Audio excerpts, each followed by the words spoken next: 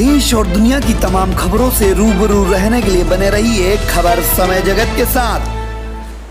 ग्रामीण क्षेत्रों में मतदान करने का काफ़ी उत्साह दिखाई दिया जहाँ लोग चार किलोमीटर दूर पैदल चलकर मतदान केंद्र पहुँच रहे हैं। ये खबर है ब्यावरा विधानसभा क्षेत्र के अंतर्गत आने वाले ग्राम नलिया खेड़ी की जहाँ आज भी लोग कच्चे रास्ते से पैदल चलकर मतदान करने आते हैं। उनका मतदान केंद्र है ग्राम पालडी गुसाई जो उनके गाँव से चार किलोमीटर दूर है। ब्यावरा विधानसभा क्षेत्र के अंतर्गत आने वाले ग्राम पालडी गुसाई में यहाँ पर लोगों की भीड़ आपको दिख रही है इधर।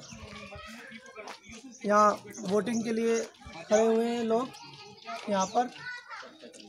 इनसे जानना चाहेंगे कि इसी गाँव के हैं ये लोग कि कई दूर से आते हैं। अ, कौन से गाँव से आते हो आप लोग? नालिया खेड़ी से। नालिया खेड़ी गाँव जो यहाँ से कितने किलोमीटर? चार किलोमीटर। चार किलोमीटर दूर पैदल चलकर ये लोग यहाँ पार्टी के साथ अपने मत का प्रयोग करने आते हैं।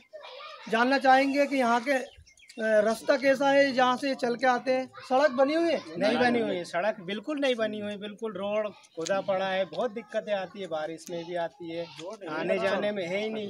रोड की कोई व्यवस्था ही कितना किलोमीटर पड़ता है चार किलोमीटर पड़ता है। चार किलोमीटर की दूरी से पैदल चलकर यहाँ आना एक बहुत बड़ी बात मानी जाती है क्योंकि ये लोकतंत्र का जो महाकुंभ है उसमें ये सम्मिलित होने आते हैं। लेकिन यहाँ पर रोड की व्यवस्था नहीं है इनके गाँव में।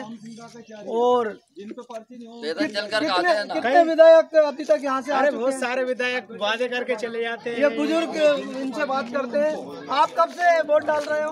बहुत दिन से पचास साल से डाल रही हूँ जब से रोड ऐसा ही है? हाँ कच्चा ही। कच्चा ही रोड है। हाँ देखा आपने कि ग्राम नालिया खेड़ी जो यहाँ से चार किलोमीटर दूर है और उनका केंद्र यहाँ पालडी गुसाई पर बनता है मतदान करने का। तो लोग वहाँ से चलकर पैदल चलकर अपने मत का उमरेड से सुरेश प्रजापति की रिपोर्ट। देश और दुनिया की तमाम खबरों से रूबरू रहने के लिए बने रहिए खबर समय जगत के साथ।